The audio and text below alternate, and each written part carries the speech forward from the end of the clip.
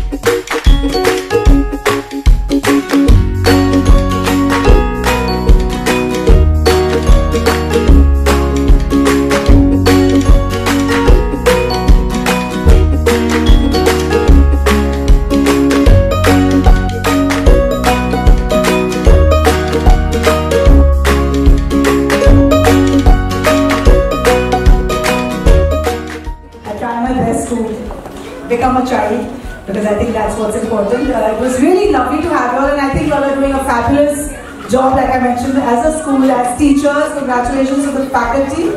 I really enjoyed meeting all of you. You all are doing a super work, super job, and great set of parents. Thank you.